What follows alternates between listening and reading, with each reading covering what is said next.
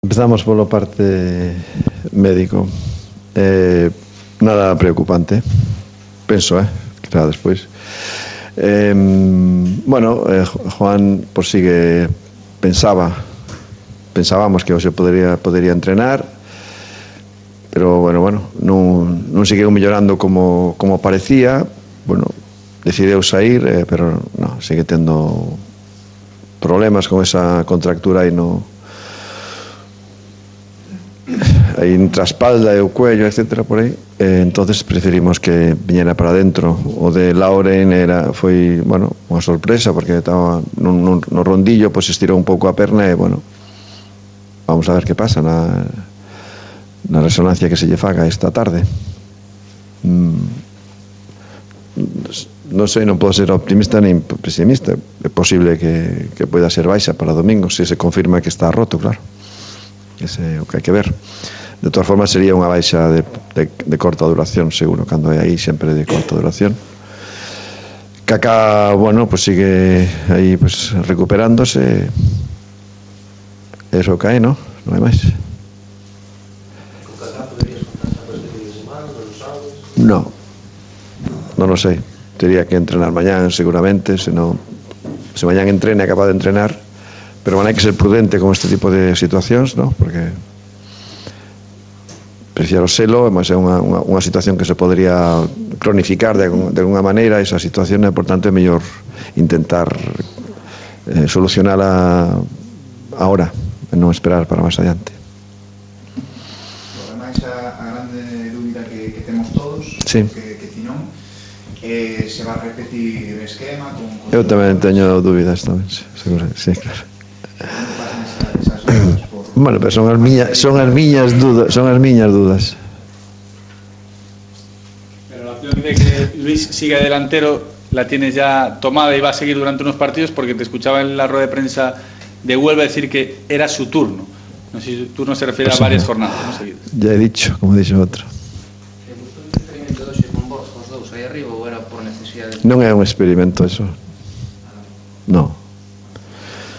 No, é, é unha situación que como xa, xa, xa vos dixen aquí moitas veces, no que entreno que entreno con, con certa eh, a veces o compañero de Borja pode ser outro, pero son dos puntas, digámoslo así, no? E hai unha situación que xa xa temos feito, no? Non, non Borja Luís, pero si sí, eh, Luis, eh, Borja Arizmendi, por exemplo. Bueno, no outro lado estaba Arizmendi con Dani. É dicir que mas foi, foi algo que xa fixemos non digo que non é experimento porque xa fixemos no, en, en competición ademais no? xogar 4-4-2 no? bueno, pois é algo o que intentei hoxe tiñamos un xogador menos e xogábamos 3-4-2 faltaba un, un central despois do gol contra o Castilla despois da titularidade do outro día o rendindo ben nos adestramentos o sea, hoxe fixo un adestramiento no, xa, está, xa estaba se, se non, se, non, se non tivera visto eso pois pues, está claro que non lle haberá dado esa oportunidade non? sempre cando elixes, pois tomas unha decisión, no? eu tomei unha optei, digamos, ahora por cambiar, pero isto non significa absolutamente que tiro a basura a Borja, ni muitísimo menos, é de que Luis eh, eh, merece, digamos, a titularidade, digamos, e Borja o que ten que facer é, pois, eh, mellorar, subir o seu nivel, es decir, eu pretendo que compitan os dous, sabes? A veces xogarán xuntos, a veces non, pero que compitan entre eles, son chavales xóvenes os dous, eu creo que lle ven, veña perfecto, non? Eh, o que eu crea que está mellor, que vai a rendir mellor, pois, eh, pois vai a xogar, está claro. Pero non son de que de, non, non nos vou alternar un partido sí un partido non. Quero decir que, evidentemente, vai haber certa continuidade dentro, de, dentro de, evidentemente, de un rendimiento aceptable de cada, de cada un deles, ¿no? ¿Y qué crees que te puede dar en estos momentos Luis que no te, que no te, te esté dando Borja? Bueno, eh, digamos que é unha pregunta complicada de contestar. Eh, máis rendimento, vou quedar en eso. Eu busco rendimento, busco sempre o mellor polo o equipo, e entonces ese é o concepto generalizado, rendimento recordando sempre que, que Borja levaba bastantes goles non? Na, es decir, que a pesar de eso pues, eu tomei unha decisión evidentemente complicada para Borja pero espero que, que en absoluto sexa nada negativo senón que sexa, eu tamén busco ben de Borja busco ben do equipo busco ben de Borja e tamén busco ben evidentemente de Luis, claro eh, confianza en que, en que Luis destape un pouco o tarro das esencias en canto a, a faceta goleadora. Que crezcan, que crezcan, que crezcan, se, que se sean mellores, non sei. Tampouco, eu non, non sei exactamente, non son un adivino para saber onde está o límite de cada un, eu quero que crezcan, sabes? E, e, e que melloren, e eh, que, e, e que o equipo note, note ese crecimento, non? Eu busco o ben dos dos xogadores, evidentemente.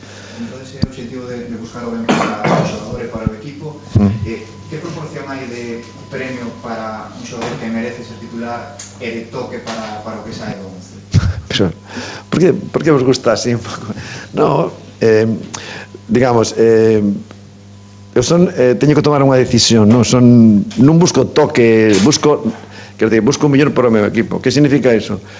Que premio para Luís, castigo para Borja. Bueno, se o queres ver así, no, pero realmente eu non, non teño na miña intención non está eso, non? Eu, todo o contrario, decir, bueno, turno de Luís, que crezca Luís, Borja, procura mellorar Es decir, sabes? Non é, pero non, é, non quero castigar a Borja, porque nós vamos a, a, a depender de Borja, dependemos de Borja, dependemos dos 17 xogadores, no? dos que teño. E, por tanto, non estamos en disposición, non estou en disposición de premio a ti, castigo a ti. No, bueno, cambio, pero eso, evidentemente, na miña, na miña intención non hai ningún tipo de castigo para ninguén. Si che vino a principio de temporada, cos circunstancias que había que ibas a estar agora mesmo de segundo, digo, non houbera esa posibilidad. Bueno, pues seguramente sí. Que che diga. Claro, eh, non sei, eu eh, sempre tive, tive un pensamento de estar arriba. Eu non, nunca, nunca pensei que podría estar, no, sinceramente, cho digo, eh. eh Eso que eu sempre pelexaba por... Eh, eso sempre lle dixen aos xogadores. Eh, na primeira charla que falei cos xogadores, lle dixen que era o objetivo do equipo. Non, non hai ningún nunca tuve dúbidas sobre isto outra cousa é que, que che vai a costar que che siga costando eh, pero realmente eu pretendía estar na parte alta da tabla porque era para eso me quedei aquí Y entre los favoritos al ascenso sobre el papel antes de empezar la temporada, además de- del Depor, me Sí. imagino que meterías a Zaragoza y Mallorca. Yo no sé si te está decepcionando la No, trayectoria sigo, que teniendo el Mallorca. o, sigo metendo. Eh, bueno, eh, a, a segunda división é tan, tan, tan larga super larga, sabes, que parece que nunca se acaba, ¿no? Xogas partidos, partidos, partidos, e, por tanto, hai que ser bastante prudente, pero ao final, en líneas xerais, non? Unha plantilla de peso, ¿no? Unha plantilla amplia, con vos futbolistas, ao final de unha temporada, se non hai cousas raras, pois pues, evidentemente impón, digamos, a súa calidade, a súa profundidade, ¿no? Eu, eu sigo pensando que Mallorca si vai a estar, Zaragoza tamén seguro a final na, na loita. Non sei en que posición, pero van a pelexar, non, non cabe dúbida, porque estamos aí casi todos aí xuntos, non?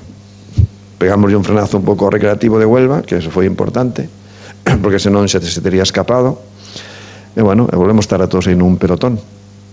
Ora, estos, este mes pode ser importante porque en algún momento eu creo que a Liga se vai a, a romper ¿no? e cando se rompa digamos, cando se empezan a facer grupos a competición cambia e cambia porque cambian os, os, os pensamentos dos equipos cambian porque hai equipos que moitos equipos que siguen pensando no ascenso, pero chega un momento que danse conta e van a pensar en outra cousa, co cual cambia a mentalidade do adestrador, cambia a mentalidade dos xogadores, eso fai que cambie evidentemente a, a idea de partido e, e a competición en sí vai a cambiar tamén. Por tanto, para nós é moi importante estar na arriba cando eso ocurra. Sei que ocurre, claro, eu creo que sí.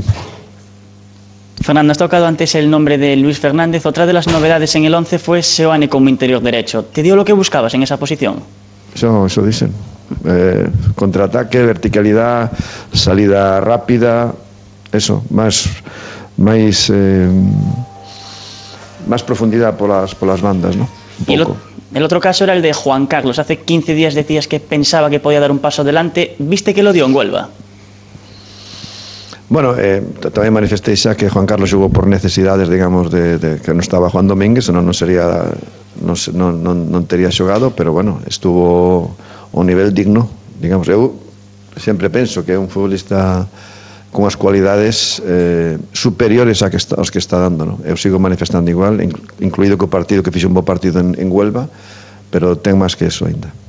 Se está aparentando polo menos o que, polo que se ve, non te casas con nadie, non? Poden probar a bancada, despois levar non sei cuáles son as circunstancias... Bueno, eh, como se está vendo, digámoslo así, tamén se podría...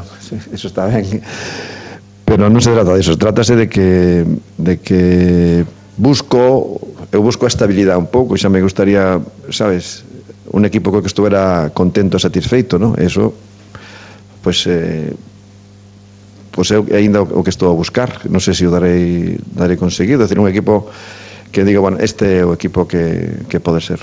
Pois bueno, como isto, como sempre digo eu, que un equipo de fútbol, ao fin e ao cabo, é un sistema dinámico que está en crecemento, etc, etc, pois iremos evolucionando, iremos, iremos mellorando, e, e seguramente, pois, eh, conseguiremos unha certa estabilidade máis nas alineacións, ese é o que espero eu. Ese é o que me gustaría, porque significaría que, que o rendimento dos futbolistas ou de gran parte dos xogadores eh, é a gusto do, do entrenador. Antes hablábamos mucho de Luis y más o menos lo has dado a entender, pero lo que has querido decir es entonces que ahora es el, el turno de él, que ahora va a jugar él, ¿no? Sí, sí, pues, pues lo dicen varias veces, quiero decir. Eh, hai, hai situacións que, que, un, que un ten que elegir e pon un futbolista por determinadas circunstancias non, non é unha opción, digámoslo así, é unha opción obligada non? Ah, a opción de Luis é unha opción de entrenador e por tanto, cando eu opto por cambiar, digamos, unha situación non sería xusto que, que Luis ora xogara un partido e volverá a cambiar. Se lle se lle dou unha, unha oportunidade, unha oportunidade significan 3, 4, 5 partidos como mínimo.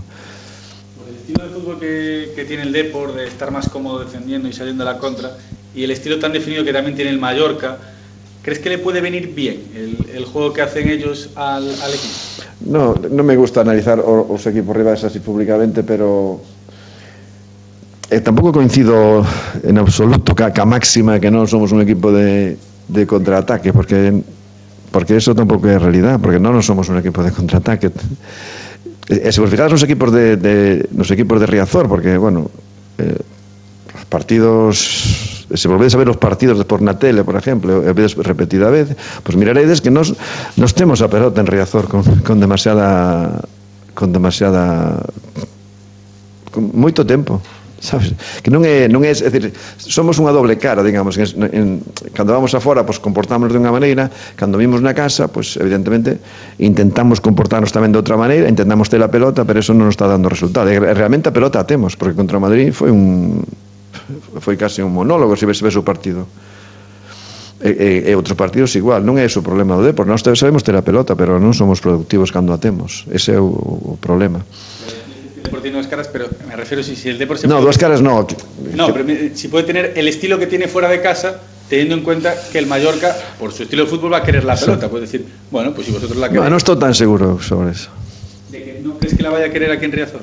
Bueno, eu, eu vexo xogar, eu vexo xogar ao Mallorca, sabes?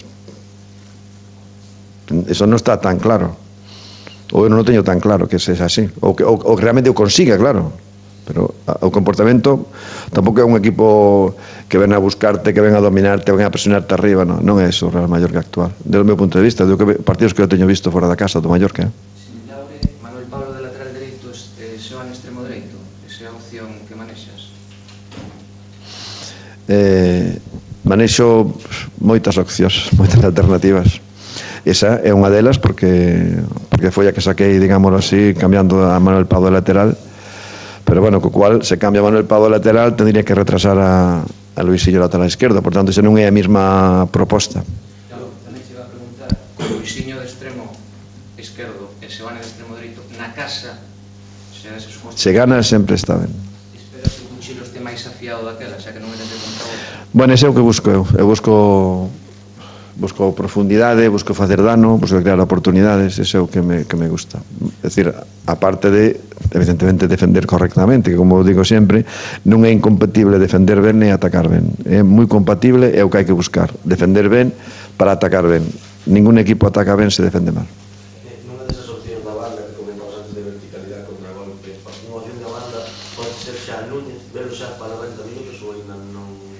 Bueno, empezo, empezo a ver a Núñez, sabes? Eu teño, teño que se van en unha solución, pero aí está, aí está Arizmendi, aí está Antonio Núñez, aí está Rudi, teño, sabes, alternativas, pero a opción que, que, que foi do outro día foi a Sebane. Bueno, vou a seguir con Sebane en esa situación? Pois, pues, bueno, o domingo ou mañán se verá. Que? Tipo teu, tes bons recordos do, do paso pola, pola illa? Este, extraordinarios. Tuve un ano en Mallorca increíble impresionante. Cheguei no mes de outubro con 0 0 puntos, fixemos unha campaña impresionante. Tiña un equipazo, eso é a realidad. E a promesa de, de renovar, e bueno, por X por, por razóns que ainda descoñezo, pois pues non, non poden seguir ali a xogadores, non? Foi o caso de o caso de Tristán, que tamén o de... Bueno, ali fixen debutar a moita a moita xente sin no primeiro equipo, no? Eh, Diego Tristán, eh, Leo Franco, Novo, eh, Robles, unha cantidad importante de xogadores. Sí. Eh, que dis do Mallorca, observas que tamén é un equipo con moitas dúbidas sobre como Non, non me fagades falar sobre o Rio, porque non, non me... O Mallorca, eu so, digo que o Mallorca é candidato ao ascenso, ten un equipo ten un, un bo equipo, unha boa plantilla e, e sei que ao final vai a pelexar. Non, non, non, non, non me gusta analizarlos en público porque porque porque non. Eu digo que digo que eu, eu creo que vou decir unha vou decir unha cosa, que na na cabeza de outra algo cambiou. En, en este sentido, ¿no? que de ser eh, un entrenador de, de corte muy, muy definido, pues yo creo que, que se está equilibrando un pouco. Eso que tes, está de segundo, estás buscando eso todas as voltas. Sí. Demais. Falabas antes do mes importante para aí asentarse na... No, para irme, para irme de, de vacacións contento, sabes? Eso que é maravilloso. sabes lo que esa semana de estar aí... Buah, increíble. Dices que o presidente xa lle escribiu a carta aos Reis Maus, entre eles está Salomao, a ver se o trae algunha vez. Esperas que se reforce o equipo para ese segundo tramo de temporada, tes constancia do... Sempre me faces responder a, a esta pregunta, digo, que, que eu non penso, non soño con esas cousas. Se ven, eu encantado, porque eu sei que o necesito, pero... Pero non estou preocupado por eso, estou eh, ocupado co meu equipo. E sacalle rendimento a este equipo. Se si podo mellorar, ou se alguén me dice, bueno, aquí te sobra isto, pues bueno, Vamos a ver, tampouco que veña vai a decir, oye, vou para o Deportivo porque vou ali, vou ser titular indiscutible, vai ser... Un... No, porque vai ter unha competencia grande. E vai, te, vai encontrarse con un equipo formado e estructurado. Si está ben, pero hai unha semana decías que sí, había que estou de acordo co presidente, que hai que reforzar... E hoxe volvíche decir que sí, hoxe volvíche decir que sí. No, Se vou decir que sí. Salomao está aí como unha bomba que pode estallar. Eu non teño información. Non, no. nada. Eu non teño información, o presidente non. Fernando, eh, non, non digo recursos de xogadores, porque sí. o Deportivo é unha plantilla limitada. Pero crees que o Deportivo é o equipo, gracias ao traballo vosso, que ten máis recursos tácticos de segunda división a hora de encarar un partido? Non teño idea. Ti coñeces segunda división? Bueno, empezo a coñecela un pouco, porque non, non crees, é dicir, eu centro no meu equipo, porque digo sempre, non, non son obsesionado polo equipo rival. Non, e, por tanto, non, non estudio os equipos rivais como, como non, eu eh, procuro entrenar o meu equipo, poño yo equipo vídeos do meu equipo, sabes, non, non, non enseño vídeos do equipo contrario, eu perfecciono o meu está claro que tampouco non vou a decir que non sería de, sería estúpido e de moi mal entrenador decir que non, non estudio os equipos rivais, pero non con esa profundidade que vos podedes imaginar.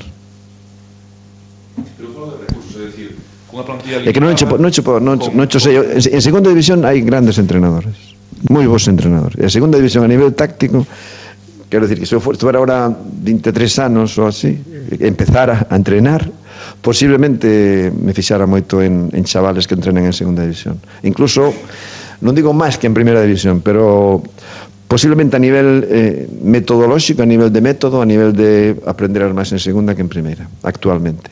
Fernando, temes perder algún xogador no, no mercado de inverno? Xa non falo de no. Negocios, non? No.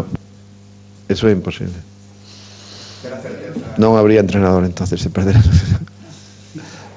no, no, eso, eso eso está, eso está. Paulinson non se vai a marchar. Algún día se, se, se podrá marchar, pero hai que engordar un pouco detalles da proposta do, do equipo. Quero dicir, eh, ás veces fora da casa, sobre todo, unha proposta máis defensiva, máis de aguantar... No, no, non, non é, no, tampouco é así, bueno, pero... O, o que se ve, crees que, que se está entendendo por parte da xente a, a proposta do, do técnico? Hombre, Eu, eu, eu creo, no, eu creo que sí, por suposto que sí, porque además eu intento explicarlo porque porque eh, eu volvo a repetir, é dicir, os meus equipos, onde eu entrenei, sempre defenderon ben. Es decir, eh, eu non quero recordar que un portero que tiven foi foi Zamora en primeira división. Quero dicir que a mí sempre me gustou defender ben, pero tampouco aqueles que me coñozcan e vienen xogar os meus equipos non poden dicir como os equipos xogaban mal o fútbol, xogan ben. Eu quero que o Deportivo xogue ben o fútbol. Pero iso non, iso non pasa porque deixemos de defender ou defendamos peor. Eu digo o contrario, decir, o Deportivo xogará ben se defendemos ben. A partir de aí, teremos que crecer e poderemos crecer. Eu, a min xa me gustaría. E tamén digo que a veces nos dominamos a pelota. En, en Riazor temos a pelota con certa, con certa comodidade. Contra, de momento, contra todos os equipos que pasaron. Eso está aí, só está para mirar eso. Pero claro, eh, que, que, que, cal é a percepción? O problema non é o que ocorre, o problema é a percepción que, que eu tamén, que, igual teño eu unha cousa é xogar a pelota, outra cousa é xogar ao fútbol xogar ao fútbol é ter a pelota con profundidade, con agresividade e facer dano Nós a veces xogamos a pelota de bastante ben porque a pasamos con certa con certa facilidade, pero o fútbol en sí o objetivo final do fútbol que é meter a pelota ali na área para que alguén remate, eso a veces está nos costando moito. Defender, eh, sempre defenderemos ben. Atacar, eso non o sei. Eu creo que a xente ten que entender isto, evidentemente. Hai que saber sempre quenes somos, quenes somos o que somos, cal é a nosa forza con respecto aos demais e todo eso. E, por tanto, a eso hai que sacarlle eh, rendemento, para eso está creo que está o entrenador. E, e darse cuenta desto non é fácil, eh? Eu digo que a veces un pode pensar, bueno, estamos de segundos e que somos la, somos la leche con respecto aos demais. Somos un gran equipo e non sei que. Cal é a nosa forza real? Eu ainda non sabría decir con respecto a, ao colectivo da segunda división se somos mellores que todos, se somos estamos no medio, se estamos, non, non sabría decirlo.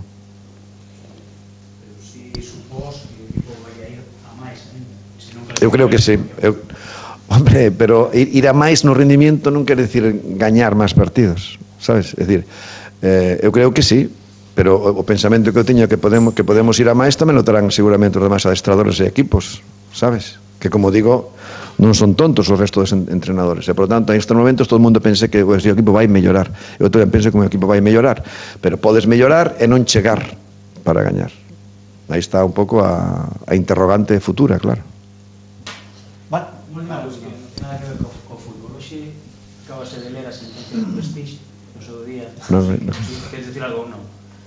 No, que descoñezo a sentencia. Puta madre todo. E bueno, non sei as responsabilidades económicas e tal como quedaron, pero bueno, non hai responsabilidades penales. Non, eu non teño, non teño nada que decir sobre isto. Xa, xa me expresei no seu momento que fora un día triste e duro e, eh, e nada máis.